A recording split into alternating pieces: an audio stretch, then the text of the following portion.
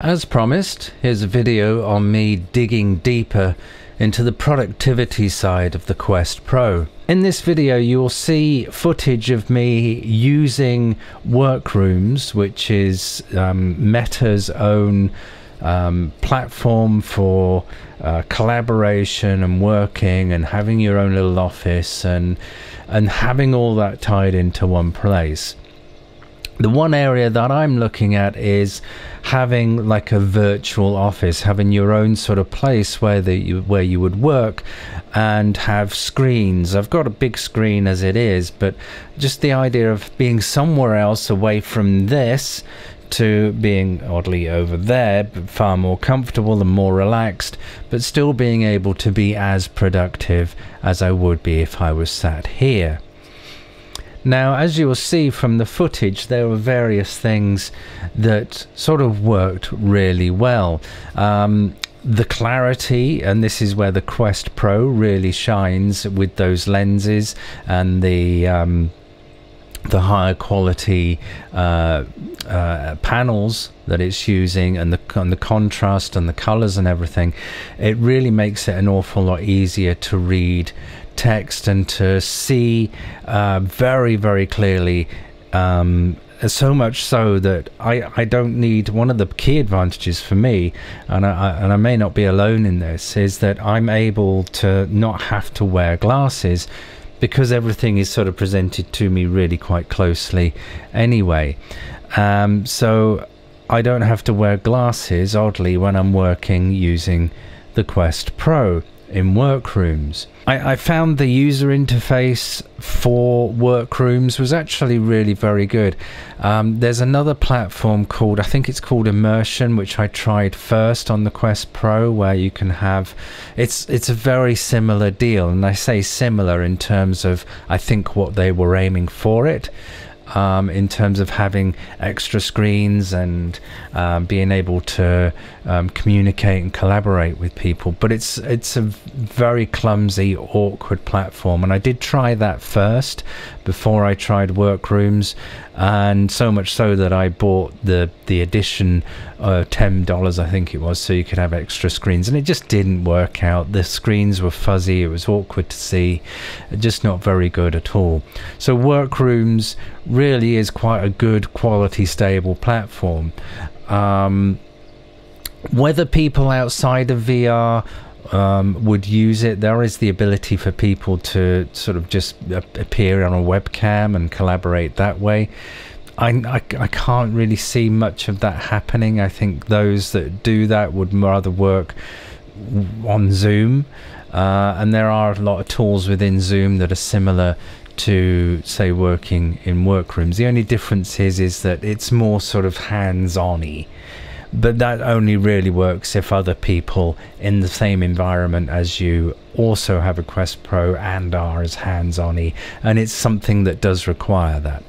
I can see where that would that would have its advantages in sort of design, architecture, and so on. So it does have a place. There are some bugs, however. Um, I bought this um, keyboard. It's the um, the Logitech uh, MX keys and I've also got the mouse I've had for a while and I bought this namely because I wanted a keyboard that the um, Quest Pro would recognize because it has a list of keyboards that it can see. And what it does it sees it sort of basically creates this keyboard in virtual reality. So when you're typing you're typing and can coordinate your fingers to the right keys.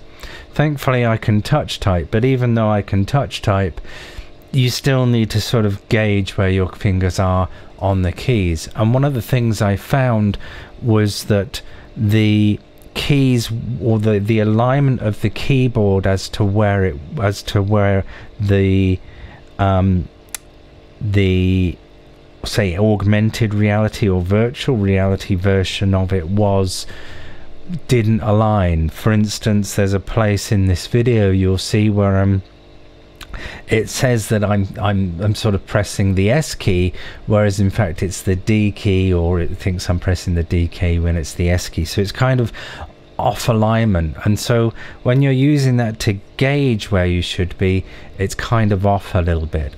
You do get this strange sort of um, odd um, sort of poking through into reality thing with your hands where you see your hands appear on your own keyboard or your fingers appear on the keys on your own keyboard and then you can see this slight mismatch. It doesn't happen all the time but it happens enough that it becomes a pain.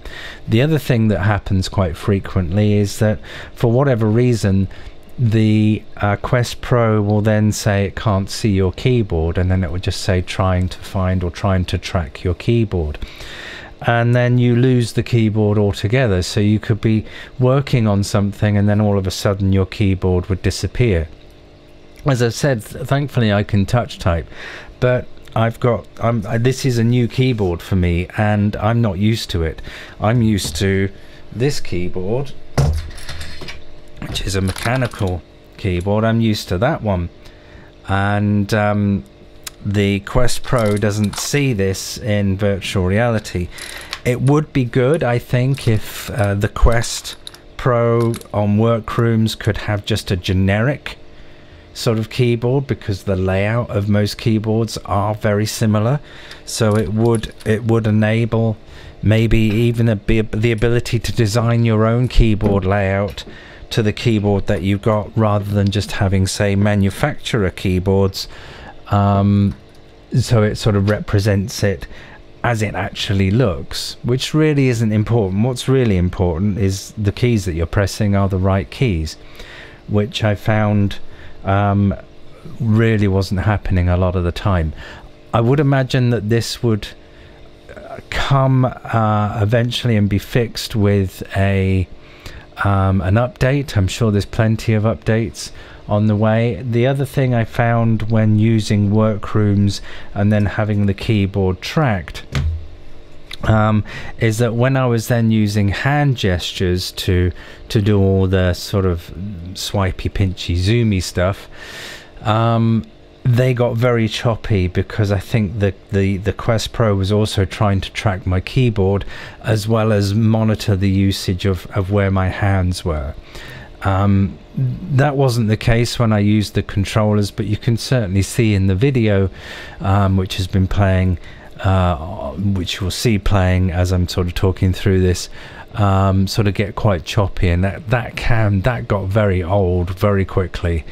Um, so uh, yeah, overall, I, I think I will stick with um, using the Quest Pro sort of uh, not all the time, clearly, because you know you end up with this weird mark on your forehead, and when you just got a ridiculously receding hairline like mine, you end up with like looks like you got a big red bandana of skin across your face. And it's also important to note that I'm not directly connected to the computer via a cable or anything. It's all done through my network. So I could effectively be anywhere around my house. And um, I've got a category A, uh, category A, category 6 um, network um, throughout throughout the house and, and through into the garden as well. So it should it should be possible. So I'm going to try it in various locations to see, you know, whether that connectivity is still strong. I didn't notice much, if any, latency, which is incredible, really, considering it's all done through the network. So those are my initial thoughts on um, workrooms. I think it's quite good. I'm surprised at how much I liked it. Uh, you do connect directly to your lap uh, to your Mac or PC. Um, I'm going to try it on my PC as well, see if that experience is any better or different or the same. And uh, yeah, so I might do another video for that. But overall, I'm pretty impressed with it. And uh, let me know your thoughts and whether it was something maybe that would sway you more towards a Quest Pro. See you in the next video. Cheers. Bye.